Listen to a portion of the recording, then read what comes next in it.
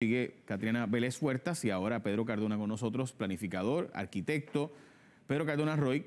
Ok, eh, Catriana, sé que tú sabes más información de este caso que yo, pero en síntesis, o sea, ¿por, qué no, se, no hay una servidumbre que estaba allí y que ya no está? ¿Qué pasó allí? Entonces, yo escucho a Catriana explicármelo, pero escucho a los vecinos decir lo contrario.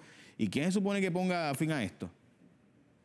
Arquitecto. Mira, yo creo que aquí nosotros tenemos múltiples cosas que coinciden. Por un lado, nosotros tenemos unos bienes que son de uso público y que el Estado tenía que defender y no ha defendido. En adición a eso estamos, porque todos los caminos y, las veredas y senderos que son pasos ciudadanos constituyen bienes de uso público.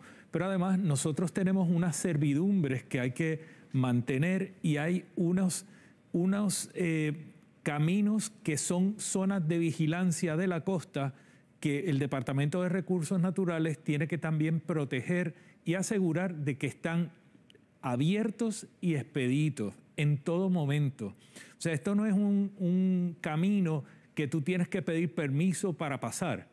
Eso es un área que se utiliza. Una carretera para yo pasar o un lugar donde pasan los vecinos para ir o yo, si quiero ir a la playa, si quiero ir al faro, etcétera. Correcto. En adición a eso, nuestros reglamentos desde el año 83 requieren que se mantengan unos accesos a la costa y está regulado. Tú tienes que mantener un acceso cada 400 metros en áreas urbanas, cada 800 metros en suelos rústicos, como es el caso de estos predios.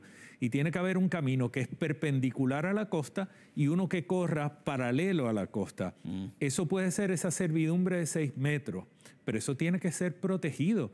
Y aunque se haya vendido el espacio a un particular y no se haya defendido el interés público en esa transacción, de todos modos hay que proveer esos accesos, tanto la zona de vigilancia como el acceso a la costa.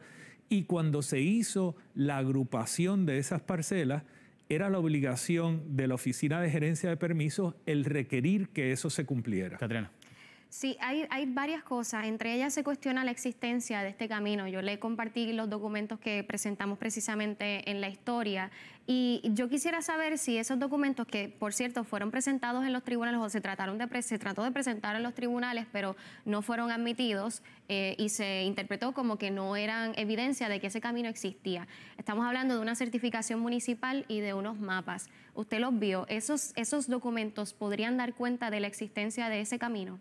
Yo creo que esos documentos son fundamentales y tenían que haber sido considerados por el tribunal.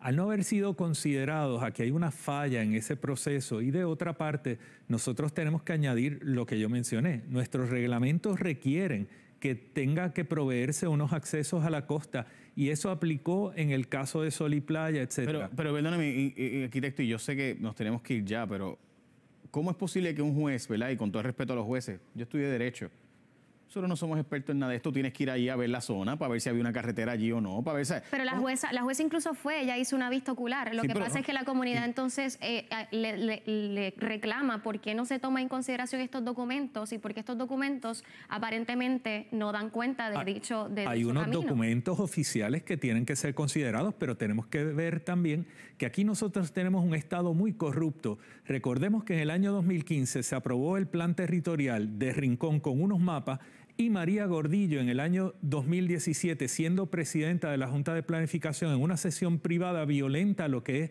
la política pública de uso del suelo y sustituye el mapa oficial adoptado en el año 2015. Ya lo firma en el año 2017. Dijo que fue una sesión especial para corregir unos errores la adopción de política pública de uso del suelo va a través de la legislatura municipal, alcalde, luego va al gobernador, va a una sesión de junta y todo esto es lo que termina en una expresión de política yo, sé que tenemos muchas preguntas, se nos acabó el tiempo. Mañana en los datos, si quieres, seguimos, si el arquitecto puede estar con nosotros. Bueno, Este, porque la verdad es que esto como que no se resuelve y yo siento que no se va a resolver. Este, vamos a hacer la pausa y regresamos.